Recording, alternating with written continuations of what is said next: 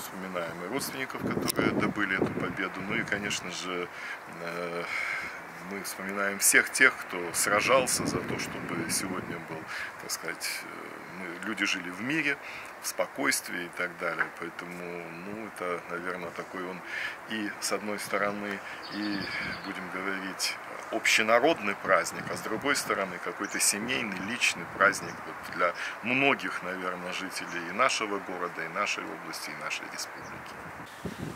Благодаря тому, что Красная Армия победила в годы Великой Отечественной войны, благодаря этому мы сейчас с вами живем.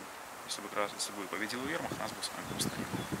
Мой прадед принимал участие в Великой Отечественной войне, участвовал в боях, был ранен несколько раз, был награжден государственными наградами. Для меня День Победы. Это дали жизнь нам, не только белорусам, россиянам, а всем. Мой отец в 1944 году воевал на фронте. Вот, был разведчиком. И в 1944 году в развед, пошел в разведку с отрядом.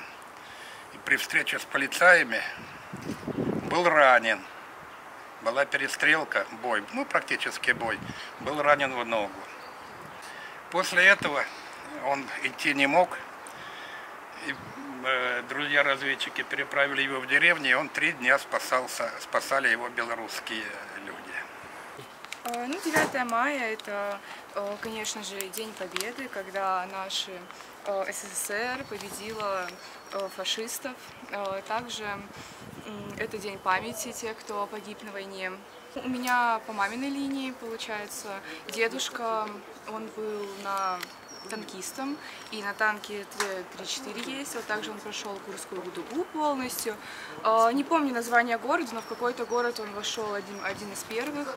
Также моя бабушка по папиной линии, она была в концлагере в Освенциме, а потом в Бухенвальде. Мы ходим на парады. Ну, в детстве я с мамой ходила, сейчас немного работаю. А, также когда еще бабушка была жива, то мы всегда приезжали. Мы еще можем, могли ездить на кладбище, потому что нас дедушка, который тогда Курскую дугу прошел, он попросил, что когда он умрет, чтобы мы приходили на кладбище на 9 мая и ложили ему цветочки.